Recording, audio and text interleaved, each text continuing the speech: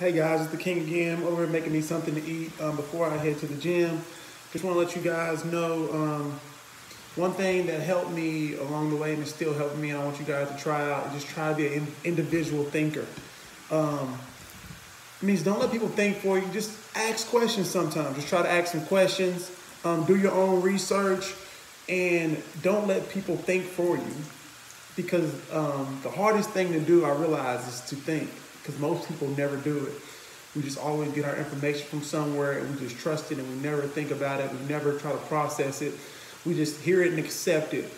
Um, to break those generational curses and to break these generational shreds, we have to start thinking. We have to start trying to apply new ways of going about our, on our day-to-day life. Um, so just try to keep thinking, try to keep motivating yourself, um, branch out, listen to different people in different walks of life because you don't want people around you that everyone thinks the same because you'll never get out of your mindset that you're in.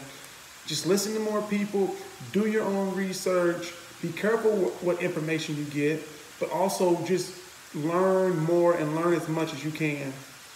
Um, other than that, um, I don't have very much to say to you guys. Hope you guys have a great day. I know it's Friday. Have a productive weekend. Use your time wisely.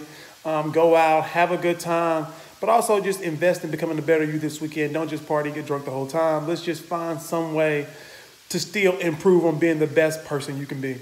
All right, have you guys have a good day, and uh, you guys enjoy your weekend.